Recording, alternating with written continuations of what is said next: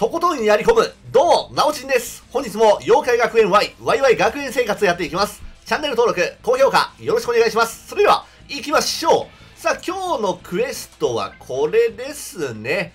帝王の誇り。それでは行きましょう。のずちかが仲間になってくれるんでしょうか、ここで。さあ、どうだろうか。いいよ、協力してあげる。調査開始。クリア報酬いいね。げんこつもらえるなんてなかなかいいんじゃないですか？なになに体育倉庫内で襲撃事件が起こるようになって、それでも犯人をあぶり出して叩きのめそうとしたんだが、突然現れたと思います。すぐさま姿を隠す輩で。なるほど。宇宙人かな？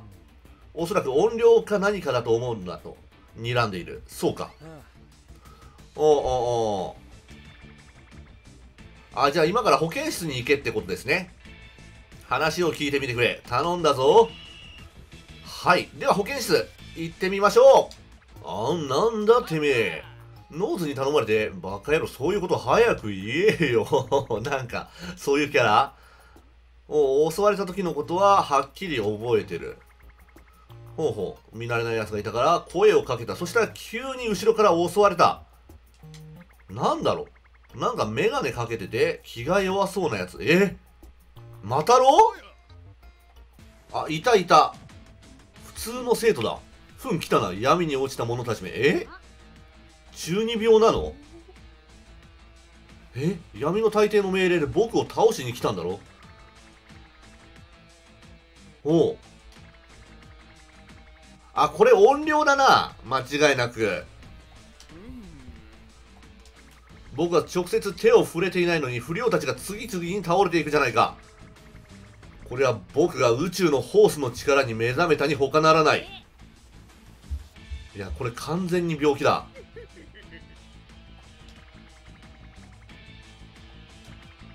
えこれ宇宙人のなんだろう案件じゃない感じがするんだけどね。はい今行きましょう。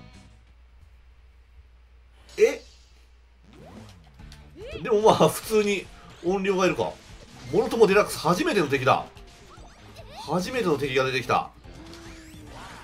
ほうほうほうほう。なるほど。目つぶしをしてくるわけねこいつらは。オッケー。でもレベル230全然大したことない。全然余裕だよ。でもこいつらだけで終わるはずはないと分かってる。はいはいはい。モグラたちが出てきて。俺思ったんですけどねあのー、ポーズ出なくないっすか？変身した後。あ巻き遭遇3体目の変身。3回目の変身だ。変身っていうかあの色違い。よし一文字は結構効くな。あーこれステージの上にこう登らなきゃいけないっていうので結構めんどくさい。敵だねしゃあ。でも敵自体は全然大したことない。めちゃくちゃ弱い。まあまあ普通にレレベル上げてなかったらそこそこ強いんでしょうけどね。俺の敵ではないな。全く。俺の敵であいやいやいやそれ行かないんかい向こうまで。一戦弱かった。うん。はいはいはいはい。召喚メダルが出てるよ。あでレジェンダリーの武器が出てる。ボス装備ですね。うん。あ違うか？まあいいや。とりあえずクリアはしましたね。楽勝です。あ僕は何ということを一時の感情に流されてひどいことをしてしまった。そうかだから僕はホースの力を失ってしまった。いやいや違うよ。どうなったの？おおまあ倒したから。いいんだ僕も。まだまだだな。え次は？あ上？あ野槌館のとこに行くのね。でどうなるんだ？もう半ばになるのかな？これで終わり？終わりだったら結構あっけなかったね。お前たちのおかげで助かった。これで心置きなくスネークスを離れることができる。いいってことよ。でもチームの問題を放っておけないなんて三つまたぎくんも優しいところあるのね。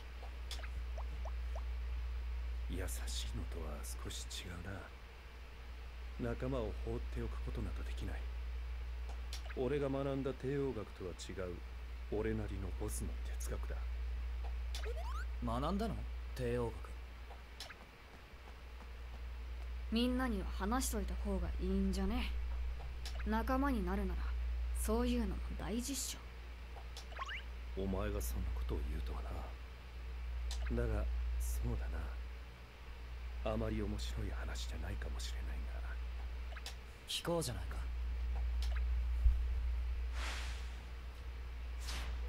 俺の親はいわゆる上流階級と呼ばれる人間だっ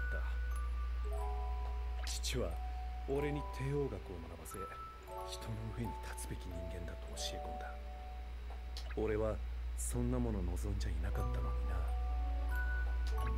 あんた金持ちのボンボンだったのかよ。意外だぜ。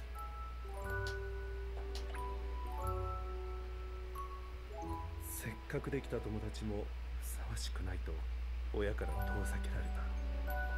それでもそんな俺に初めて親友ができたんだ。親も認めてくれたその親友は俺の大きな心の支えとなった。だがそいつは母から金をもらい友達のふりをしていただけだったのさ。それは何というか随分な話だああ我が親ながら嫌気がさしたよ。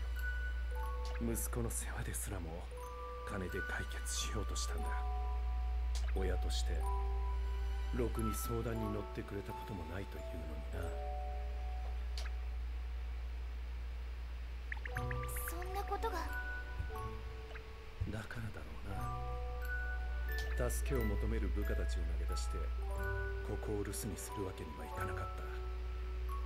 放っておかれる者の辛さを俺は誰よりも知っているから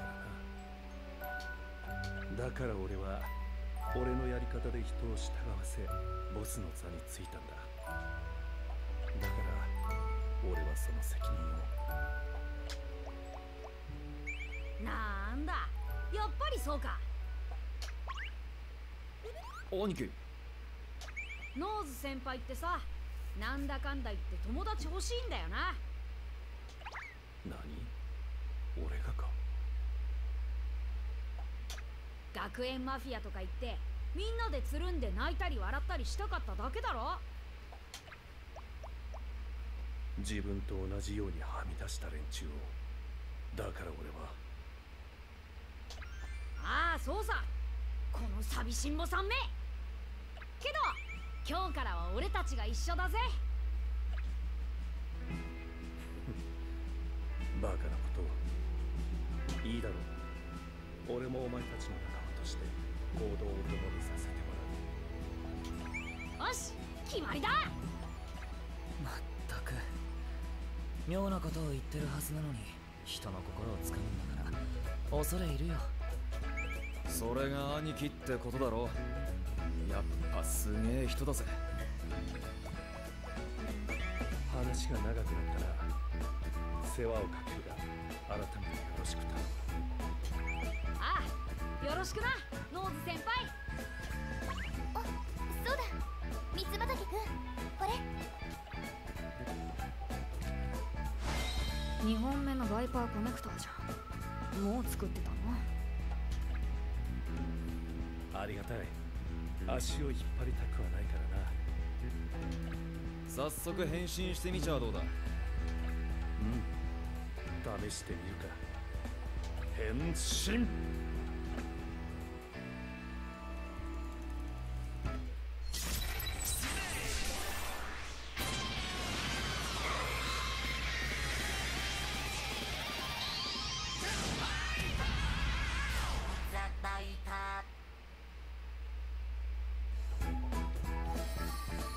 大河のうねりは運命となる。ザ・バイパもう完全にミッチーだよね。おおやっぱかっけもういきなり襲ってくるのはなしだよ。そんなこともあったな。安心しろ。俺がなぎ倒すのは俺たちの敵だけだ。オリジナルの構造をもとに私なりに作ってみたの。性能は同じはず。そう。かでは存分に戦えそうだな。頼りにしてるよノーゼああ任せておけ。野づちか仲間になりました。解決ですね。はいそれではクリアしました。えーと野づちかの装備はいくつなんだ？えーと237かえー、クーカ先輩よりだいぶレベル高く入ってきましたねでもまあ237うーん前線で戦えるタイプではないですまだまだはい。まあ、ということで、えー、まだどんどん進めていきますので、チェックをよろしくお願いいたします。そして、チャンネル登録、高評価、よろしくお願いします。それではご視聴、ありがとうございました。そいや